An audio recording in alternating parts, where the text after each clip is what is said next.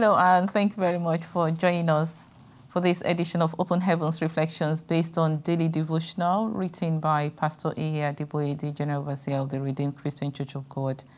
My name is Foyeke Christian Tolani, and I'm a pastor with Christ Love Assembly, a parish of the Redeemed Christian Church of God in Oxford. Our topic is the benefits of salvation, part one. And the Bible passage is taken from the book of Isaiah, chapter 25, from 8 to 9. It will swallow up death forever, and the Lord God will wipe away tears from all faces. The rebuke of his people he will take away from all the earth. For the Lord has spoken, and it, it will be said in that day, Behold, this is our God. We have waited for him, and he will save us. This is the Lord. We have waited for him. We'll be glad and rejoice in his salvation. Our memory verse is from the book of John, John chapter 14, from 27, uh, verse 27. Peace I leave with you, my peace I give to you. Not as the world gives, do I give to you. Let not your heart be troubled, neither let it be afraid. Our reflections.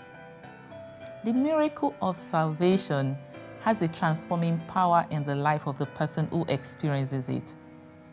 A brother who born again, who got born again said, having been born into a different religion, shared, you know, he shared his experience and he said, something happened to me that was beyond the realization of men. The moment I asked Christ to be my personal Lord and Savior, a transformation took place immediately. An indescribable joy filled my soul, and I experienced a peace that words cannot describe. I laughed and wept at the same time. Tears rolled from my eyes onto my cheeks.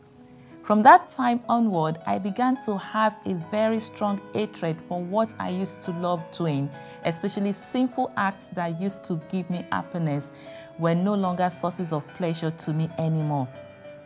I began to have desire for the things of God.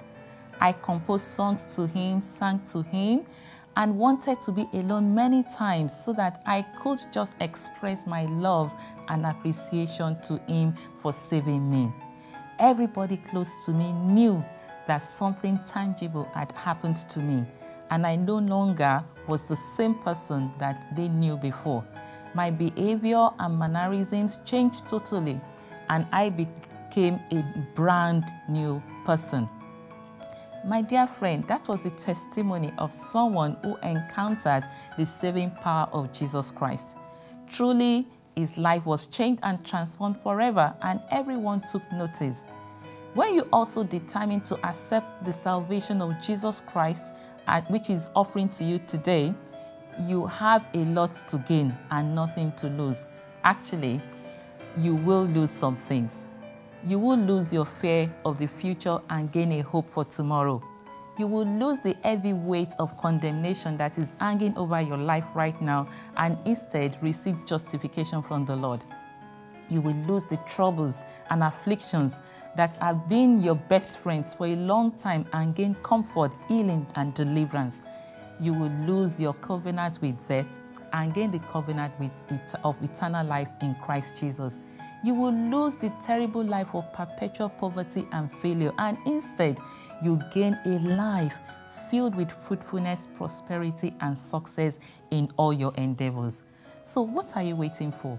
Go ahead today and invite Him into your life today because you have a lot to gain and so many bad things to lose. Our prayer point Father, let me experience the full joy of salvation in every area of my life.